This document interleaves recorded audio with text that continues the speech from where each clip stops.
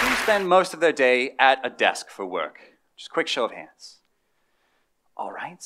And how many folks spend much of their time when you're not at a desk using a smartphone or a tablet or some sort of device like that? Some are kind of like hesitant about that one. Uh, okay. And how many of you folks see your kids doing much the same thing before they've even left high school? Any? Okay. All right. Yeah, indeed. Um, things have definitely changed here. We've gone from Vietnam being very much about uh, playing football and working as farmers out in the field to working at a desk and spending time on, on digital sports.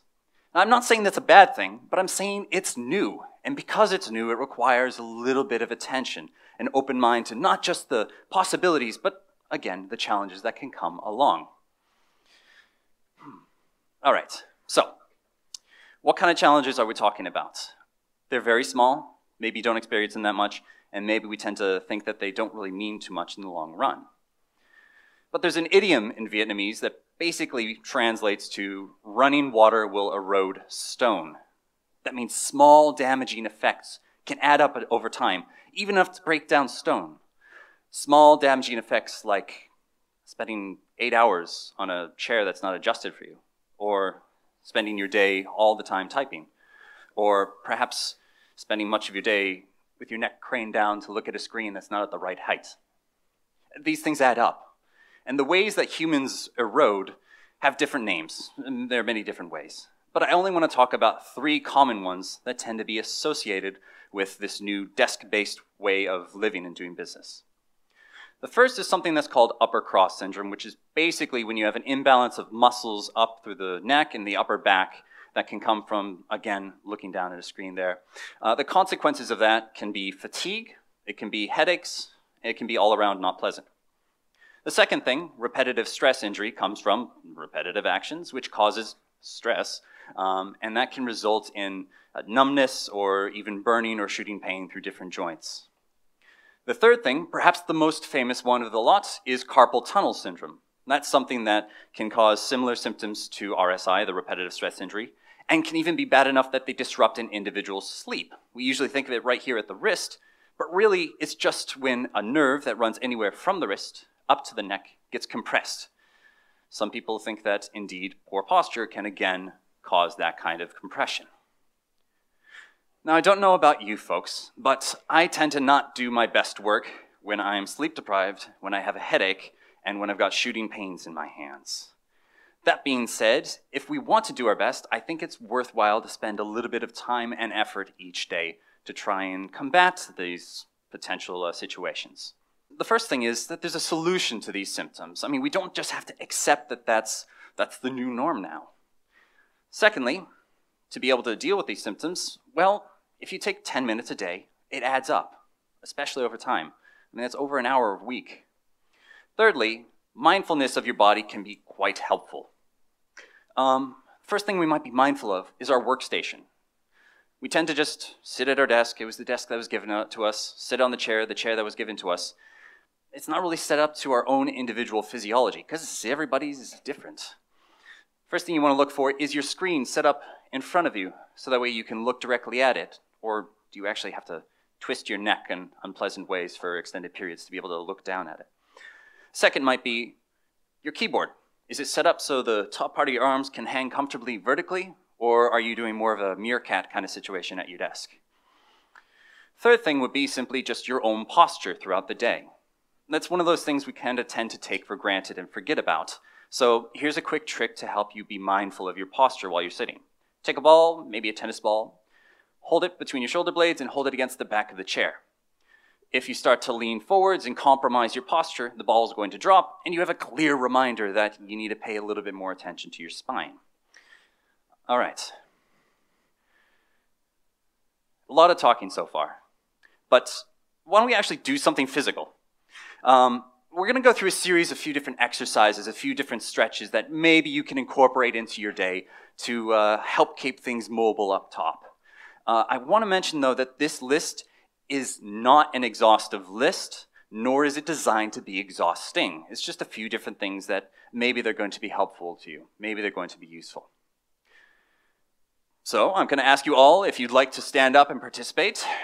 I'd like you all to go ahead and stand up. All right. Trust me, it won't hurt. Uh, before we actually get into it, I just need to say, folks, um, gee, a bit of a disclaimer here first. So if we're going to do this, I need you all to agree to this. So TEDx Hanoi, do you agree? I need to hear from everyone. TEDx Hanoi, do you agree? Okay, that sounds better.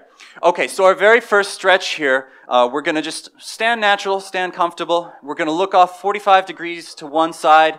We're going to tilt our chin down a little bit. We're going to take the front hand, put it on the top of our head. You should be thinking Michael Jackson. All right.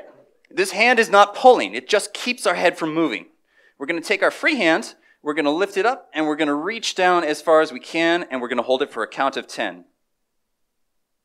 Five, eight, nine, 10. Cool. We'll release. We'll look over to the other side, 45 degrees off to the angle. Back down. Michael Jackson. Shrug up with the other hand and reach back down like you're trying to reach the floor. You should feel a stretch in the side and back of the neck. Eight, nine, ten. Great. We're going to come back to center. Next thing, again, we'll take our right hand, we'll place it on the chest, just so things don't move around at all. We're going to tip our left ear to our left shoulder, turn our chin to the right hand side, and look up to the ceiling a bit. You should feel the stretch more on the inside of the neck. Eight, nine, ten. And release. We'll do the other side. Left hand on the chest. We're going to look up. Uh, sorry, we're going to tip our right ear to right shoulder. Bring the chin over. Look up. General advice when you're doing stretching and general good life advice don't forget to breathe. and back down. Okay, so that's going to be it for the neck uh, for us right now. Um, you might follow this up with some other stretches. You might work some chin tucks to work some of the deep muscles in there that tend to go weak when we have poor posture for, you know, the eight hours you spend at work five days a week for 10, 20, 30 years, however long it is. Um, so we're going to move on to our hands and try to work on that whole carpal tunnel thing. Um, you know, just keeping it moving is one of the ways that's going to help avoid these situations. So first thing, we'll just take hands out in front. Try not to jab anyone. Don't hit anyone. Okay, cool. We're going to wrap our thumbs down. Cool, that looks good. We're to wrap our fingers on top of it. All right, cool.